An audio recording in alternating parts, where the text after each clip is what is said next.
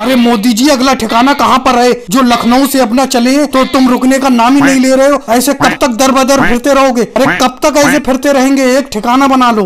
ये बड़ी अच्छी बात कही है। अरे अखिलेश हम तो फकीर आदमी हैं निकल पड़ते हैं झोला लेकर। हम अपना ठिकाना ज़रूर बनाएँगे। जरा पैसा तो इकट्ठा हो जाने दो और अपना अगला ठिकाना दिल्ली है। दिल्ली जाकर डेरा डालेंगे अब अपना। समझ रहे हो? अरे मोदी जी अखिलेश सही कह रहा है। ये बताओ ऐसे कब तक फिरते रहेंगे? एक शहर को ठिकाना बना लो हर शहर में अलग अलग फिरते रहते हो। कभी कहीं चले जाते हो कभी कहीं चले जाते हो। एक ठिकाना बना ही नहीं रहे हो तुम। ये बताओ पैरों में छाले पड़ गए चलते चलते अरे ऐसे भी फकीर बनने से क्या फ़ायदा? जो दर बदर फिरते रहो झोला लेकर इधर उधर। अरे तुम्हारा तो तकिया कलाम हो गया। निकल पड़ता हूँ झोला लेकर। योगी जी बात को समझा करो। जल्दबाजी में कुछ भी मत बोला करो। अभी पैसा इतना इकट्ठा नहीं हुआ है कि अपना कहीं पर ठिकाना बना ले। अभी सिर्फ़ सत्तावन हज़ार रुपए इकट्ठे हुए हैं। समझे? थोड़ा पैसा इकट्ठा हो जाने दो फिर एक जगह ठिकाना बना लेंगे। फ़िलहाल तो अपना दिल्ली चलना है वहाँ जाकर देखते हैं। वहाँ पर अपना डेरा डालेंगे परमानेंट अरे मोदी जी अपने बचपन के भी क्या दिन थे यार। कितना मज़ा आता था बचपन में। तुम्हें एक चीज़ याद है? तुम्हें गुल्ली डंडे में अमित शाह जी रोज हराते थे। अरे मुझे तो याद है तुम्हें याद है तुम स्कूल में दूसरे बच्चों की पेन चुरा लिया करते थे?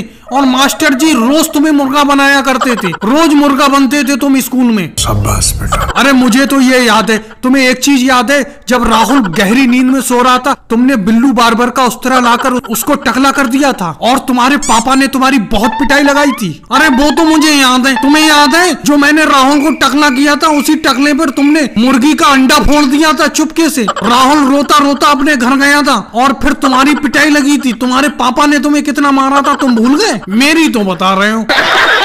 अरे मोदी जी स्कूल की एक बात तो याद होगी तुम्हें। तुम्हें दो का पहाड़ा याद नहीं था तो मास्टर जी ने तुम्हें मारा था। तुमने पेंट में सूसू कर दी थी। गजब बेचती है। अरे वो तो मुझे याद है। तुम्हें याद है जब लालू जी अपने घर पर बैठकर दूरदर्शन पर महाभारत देखा करते थे तो तुम उनकी छत पर लगे एंटीनियो को घुमा दिया करते थे। और वो तुम्हें याद है, जब तुम पास की नहर में नहाने गए थे तो डूबते डूबते बचे थे। तो मैंने ही बचाया था। मेरी कमियाँ मत गिनाओ, समझे? लेकिन फिर भी क्या दिन थे यार बचपन के। जैसे भी थे, बहुत मज़ेदार दिन थे। मज़ा आ गया बचपन के दिन याद कर कर। अरे मोदी जी, कितने बेवकूफ़ हो। इस घोड़ा गाड़ी पे ऑटो रिक्शा क्यों लाद के ले जा रहे हो? अरे क्या हुआ?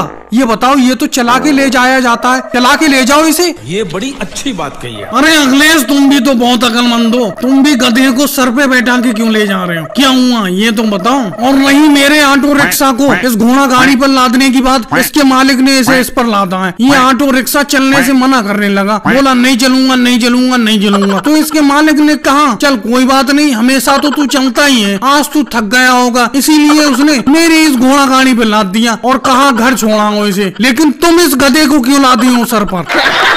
अरे मोदी जी, मैं कभी भी गधे के साथ अन्याय नहीं करता। समझे? मैं कभी भी इसके साथ अन्याय नहीं करता हूँ। क्या हम ही इसके ऊपर बैठ सकती हैं? ये हमारे ऊपर नहीं बैठ सकता। देखो, मैं अपने ससुराल जा रहा था। वो है कम से कम पंद्रह किलोमीटर दूर। इसीलिए एक किलोमीटर मैं इसके ऊपर चल लेता हूँ। एक किलोमीटर मैं इसको ऊपर बैठा लेता हूँ। मैं चल लेता हूँ। ऐसी जो सफ़र कट रहा है।